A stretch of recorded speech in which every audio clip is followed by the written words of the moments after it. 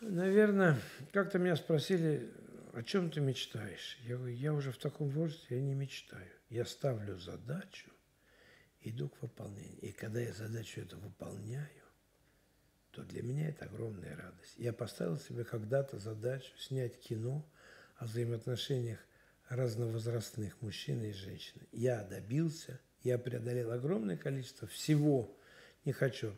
Это касается и творческой части, и бытовой, и жизненной, и так далее. Но я довел это кино, я сделал, и оно будет жить, его увидят люди, увидят миллионы.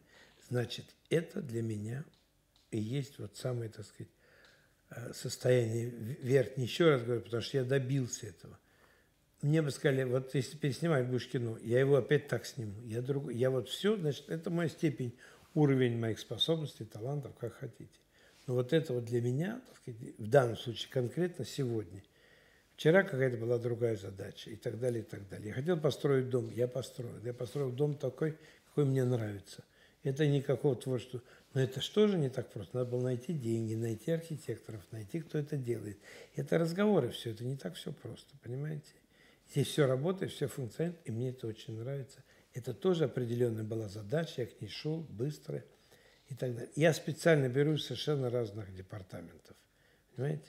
Видеть успех своей дочки, которая три года, как она сейчас ходит, как она говорит, как она анализирует что-то, успех потрясающий, радость колоссальная, понимаете?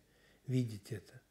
К сожалению, не часто я ее вижу, но факт остается фактом, что меня общаться с ней, видеть успехи моих детей уже взрослых тоже это колоссальная радость для меня, что они что-то добились, что у них что-то получается. Вот. А так, так сказать, это может быть в самых разных ипостасях.